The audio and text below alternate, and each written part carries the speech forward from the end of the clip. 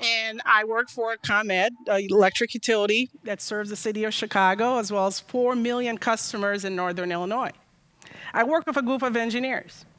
And the common thing that we share as engineers is this passion for technology and how technology can solve big problems. Our main responsibility is to keep uh, the grid safe and reliable.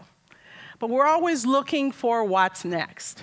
What's the next big challenge that's facing this grid that we're responsible for? And as we think about it, we're really seeing issues about climate change, the impact of climate change, more severe and frequent weather that causes disastrous situations uh, for us, our customers. We're seeing issues around security, physical security, cyber security. And as engineers, we're starting to, we've been starting to think about how do we mitigate these impacts on the system that we're responsible for. One solution that we've thought about and we plan to do is a concept of microgrids.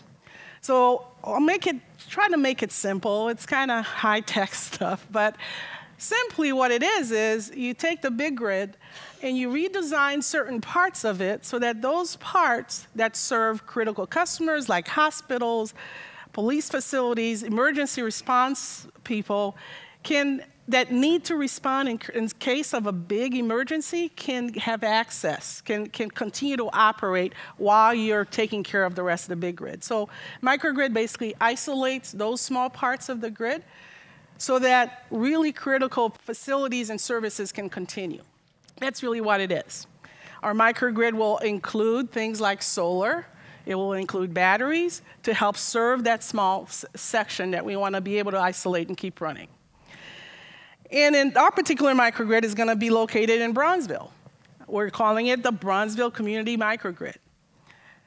So as we started thinking and designing, we also started reaching out to the customers and the neighbors that lived in Bronzeville and to tell them about this great new technology that's coming and that would make their community more resilient. And as we started having dialogue with them, what they shared with us was these big issues that you're concerned about, we've been thinking about them as well. And we've been thinking about them in terms of how they impact us in our daily lives. And we've got all these big ideas, too. So, as this dialogue continued, what we realized was we had common issues. And what we really were passionate about as engineers wasn't just about the technology, but how we, what we do the work that we do helps solve issues for the broader society. And I'll explain that to you. So we created this Bronzeville Community Advisory Council. And this is a group of local leaders who've been working on these big issues in the community who meet with us on a regular basis and we just ideate. We talk about issues around safety and security. What does that mean for you, ComEd? What does that mean for us? Can we work together on some solutions? And we started creating and ideating solutions and pilots that we're trying out throughout the neighborhood. Here's some examples. One issue that they brought to us was a concern about safety around schools, especially during the wintertime. It's dark early, and kids that are maybe doing after school programs they wanted to, could we create a safe pathway for school students to be able to come in and out of school by lighting some, some areas? We came up with, hey, we'll put some, some lights in the pathways. But the unique thing about those lights are they're powered by wind and batteries. We're testing this out, right? Wind energy, batteries that are providing safe, secure pathways for students. Another example of a project we're working on is um, around mobility. As we were having these discussions, they're saying, well, one of the issues we have is we have a lot of residents who don't own cars. They rely on public transportation. And they're limited in that you go to the public transportation hub, whether it's the bus or the bus stop or, or the train station, and there's nothing to get you to where we really need to get to, to that store, to that doctor's office. You're walking a couple of miles could, how could we kind of think about that? Actually, some of the, couple of the people in this council had already been thinking about this transit issue and proposed to us, hey, we've been wanting to maybe bring an automobile maybe an electric vehicle, that would take people to places they need to go from these public transportation hubs or from their homes. So we started testing it out. We have this little electric vehicle. Uh, it's parked at a senior citizens home that has about 100 senior citizens. And it takes them to the doctor's office, to, to the local grocery store, to, to help them kind of free up, give, make them more mobile, to get things done that they need to get done. Now it's expanded into three senior citizens' homes in the neighborhood. And now, the uh, one thing I want to mention is the, the um, owner of this vehicle is a small business person. And now we're looking at expanding that even more to a local university. University students have different needs at the time of day needs than the, than, than, than the uh, senior citizens. So now he's building a business model uh, where he can pretty much almost have 24 hour operation for this vehicle.